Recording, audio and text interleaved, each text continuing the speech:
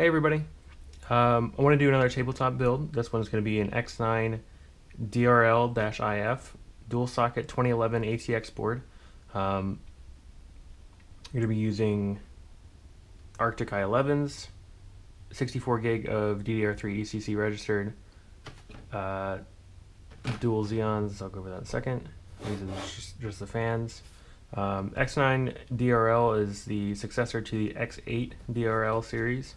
Um, this one has IPMI, dual NIC, uh, quad USB 2.0, onboard VGA of course, uh, 8 SATA 2, 2 SATA 3 for SSDs, um, a whack ton of fan headers, and there's some back here too.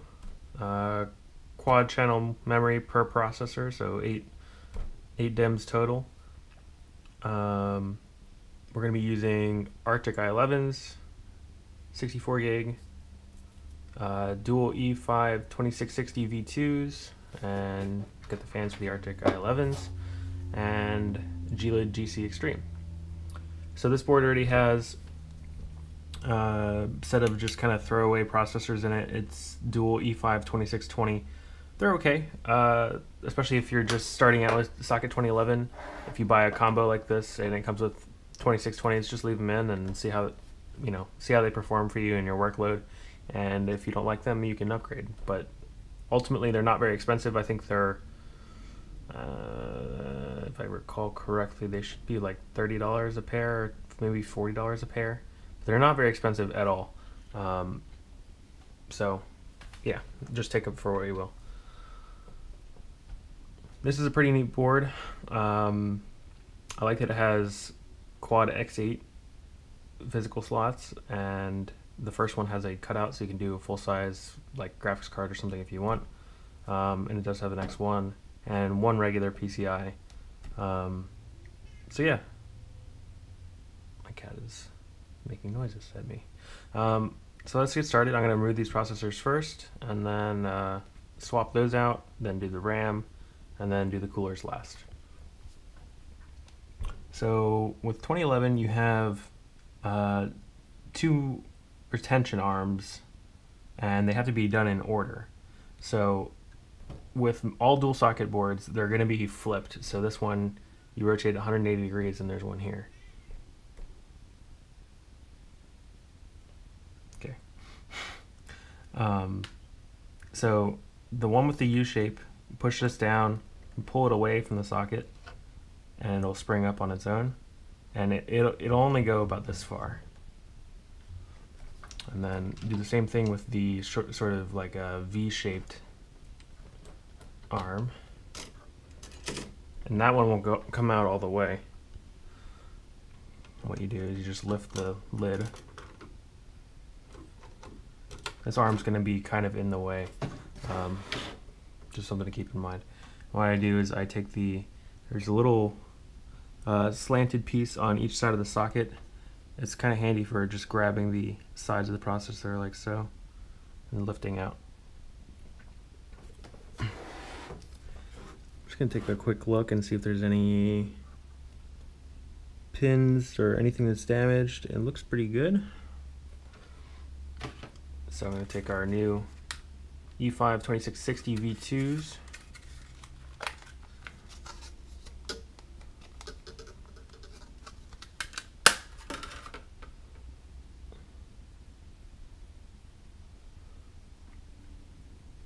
So there's two ways you can do this. There's a uh, 45 degree cutout right in this corner here, which would line up with the gold triangle on the processor. Or you can line up the notches here and here, and they're spaced a little differently. So these, the notches on the left side here are closer to the side of the processor than the ones on the right. It might be a little bit harder to do on 2011 um, you might have to use the triangle method, but we're going to just do the exact opposite as to what we did before. Just gently let it sit there under its own weight. We're going to close the lid. Make sure it's just kind of uh, square here. Close this retention bracket. and then the second one. That's it. I'm gonna flip this guy around. So it looks exactly the same as it did before, because it's reversed. I'll put this one away.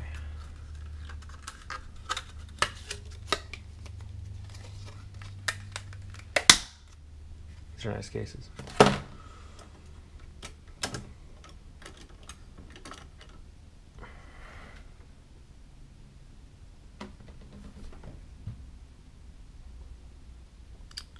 Socket looks pretty good.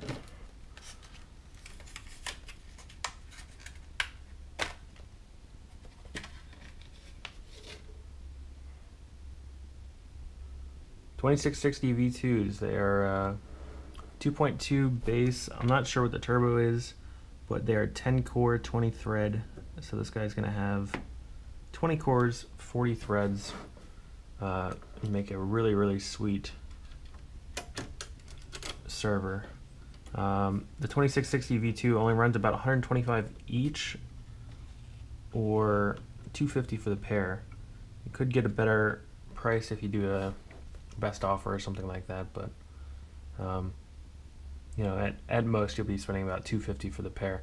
They're freaking awesome processors. I think they give about almost 20,000 PassMark. So these are awesome.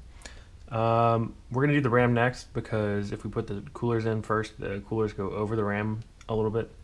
Um, so what I have here is 8 gig sticks of Samsung DDR3 1066. 1066 just happened to be the best deal. I prefer 1333, but um, ultimately I don't think you'll see much of a performance difference. I wouldn't go lower than 1066 though. Um, but this was just a fantastic deal at the time, and I think the capacity is worth it. So we don't have to upgrade later. So we're gonna open all the tabs for our memory. It really doesn't matter which side you start on. Um, you just want to look for the short side, and this is the uh, the key. So there's a short side and a long side, and on the on this side, the short side is on the top, and that's the same for both of these. And then it reverses on the right side here. Just line up the tabs, and we're going to push in the short side first, and then the long side.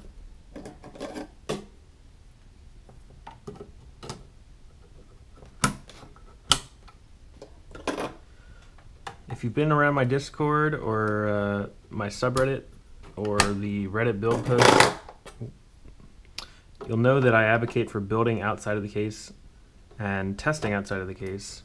Um, I'll probably do another video on on sort of in depth as to why, but it's so much easier. Oh, see, I already put it backwards. It's so much easier to see what you're doing, to actually do what you need to do, and to identify mistakes when you're building and everything's right in front of you, as opposed to putting the motherboard in the case, trying to put the processors in with the case all around you, and things like that. And if it doesn't work, you're gonna have to end up taking it out of the case anyway to test it. So you might as well just test everything and build everything here. Um, so that's why I like to do these.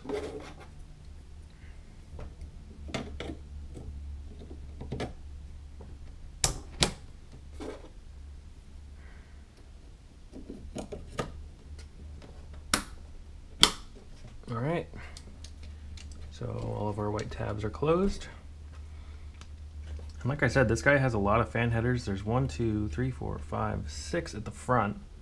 And there's one, two at the back. So eight total. That's freaking awesome.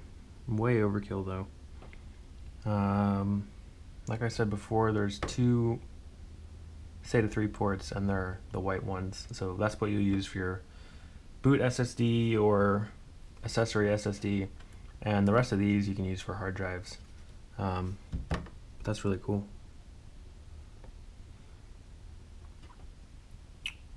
And see, anything else of note here? Got two USB 2.0 headers, single onboard USB port, even though there's connectors for another. I really don't know why they haven't soldered another physical port on. But uh, yeah. So I think it's time to mount the coolers. We got Gelid GC Extreme, my favorite thermal paste. This is the best non-conductive, non-super expensive thermal paste, and it comes in a gigantic tube, so you get a lot of applications out of this. Um, this is the best stuff on the market, in my opinion. Um, there's a lot of graphs and stuff to back that up. But uh, anyway, we're going to use a generous amount here. 2011 is a big, big die. Sorry if I got a little bit of glare. I don't know if that made it any better. 2011 is a big die. Um, there's a lot of area to cover here, especially with 10 cores. Make sure that it spreads out nice and evenly.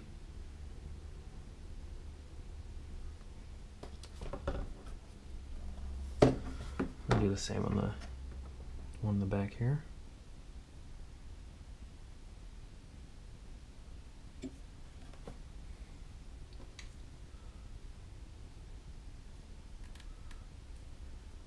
And I mean, a tube like this will last me a month, a month and a half. Uh, I don't know how far the plunger goes down because it's covered by the sticker, but there's quite a lot in here, even doing 2011 builds like this. Um, so we got our i11s, we're going to use the larger thread screws for 2011 and the outside holes of the, uh, the mounting here. So we'll just drop this guy down and make sure that um, the edges where the fan attaches are on the right side. I wonder if this will actually fit this way. No. So we couldn't mount them both sideways because this is an ATX socket. Um, they're just too close to each other.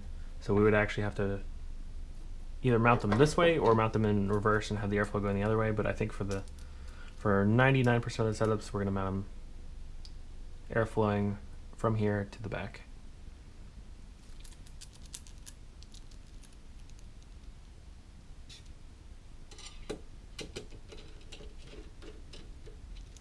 Going to lightly thread each one in. And not tighten them down, just get them started in the uh, just get them started so that they don't move around.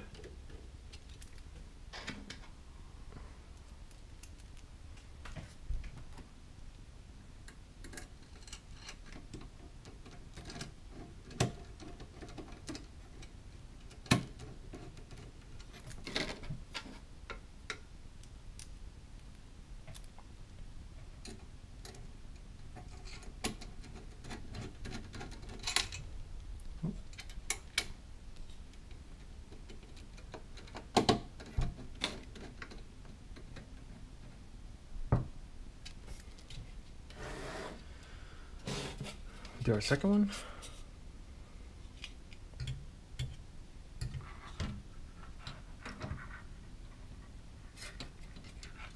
A couple people have asked me about uh, concerns with the i11 and sort of the way it like I, the base plate of the i11 is not very large the actual contact patch is is relatively small especially for 2011 um, but Arctic they they have high confidence that these uh, these coolers will dissipate enough heat for the socket despite its relatively small contact patch and I'll show you that in a second. Um, it looks like it's I mean you can see a lot of bare processor underneath there. But I've used these things quite extensively. I've even checked individual core temps uh, especially on 10 and 12 uh, 10 and 12 core variants I haven't seen any issues with them so uh, whatever they got going on is pretty amazing especially for the price that you're paying for these. Sometimes as low as $22, typically around 25 to 30. But uh, they're really, really awesome. And so long as you, you're using uh, a good thermal paste, you can use the thermal paste they come with. I prefer the GC Extreme. I think it's just, I mean, it's worth it uh, for an extra 10 bucks or however much it is. Now is a good time, anyway, so now is a good time to uh, check our alignment, make sure that these are lined up straight before we start tightening them down. Start with the hardest one to reach first. Tighten the screw a little bit and do a cross pattern.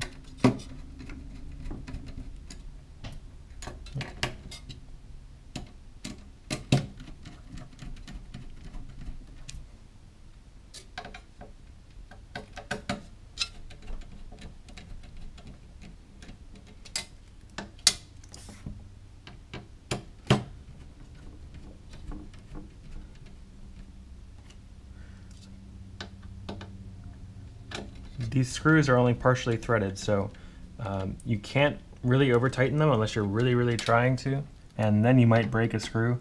But when the screw stops turning, just don't tighten it anymore. Um,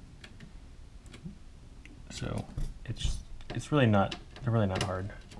I highly doubt that you will break a screw even if you're really cranking on this. Um, but that's why we use hand tools and never use any power tools because we don't know we don't know what the torque spec is like on these. Um,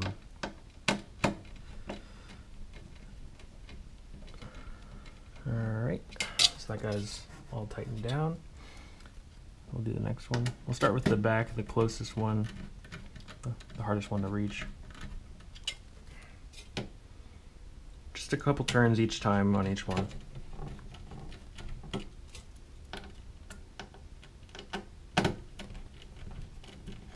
Again, the goal of doing a cross pattern is to try to apply even pressure as you're mounting it.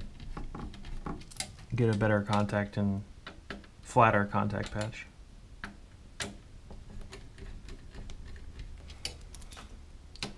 Ultimately, I don't know how much it matters, but there's really no reason not to do it.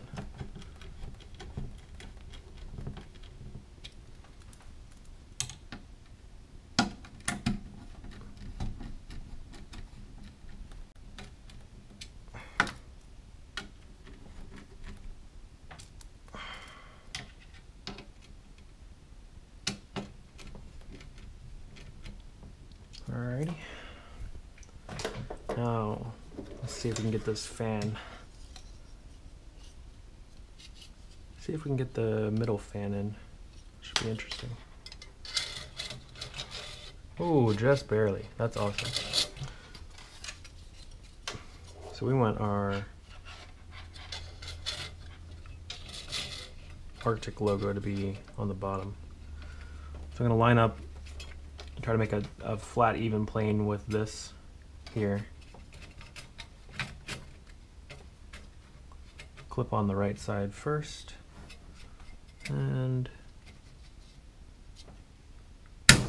just clip the left side over.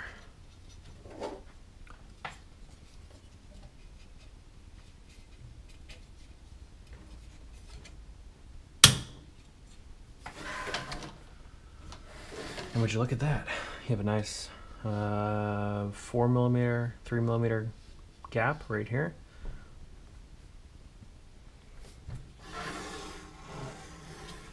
That's just awesome looking. That looks like it was designed to be that way.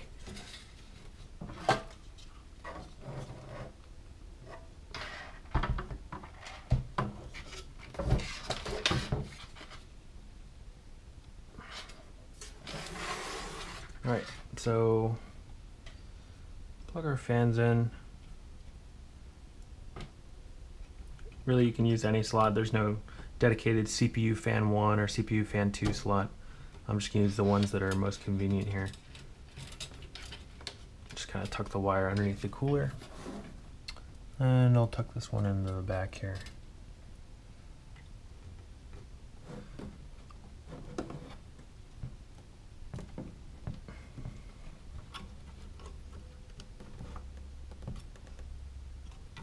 Maybe.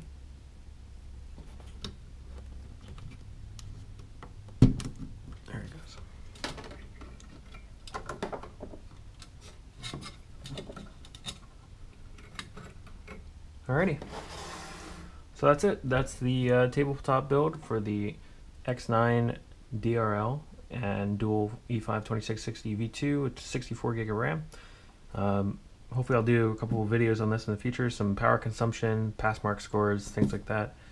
Um, I'll probably do the whole build overview before I ship it out to the to the guy that bought it.